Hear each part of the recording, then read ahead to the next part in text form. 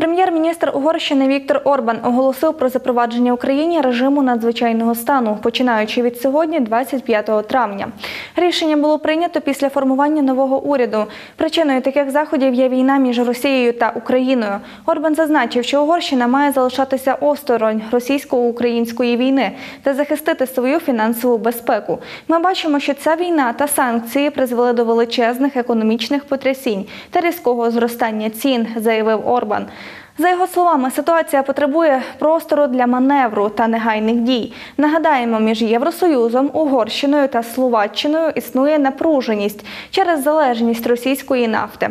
Проте відмінності у підходах до ембарго на російські енергоносії не мають нічого спільного з емоціями, політичними симпатіями чи ворожістю. Угорщина знайшла причину залишатися на російській нафтовій голці.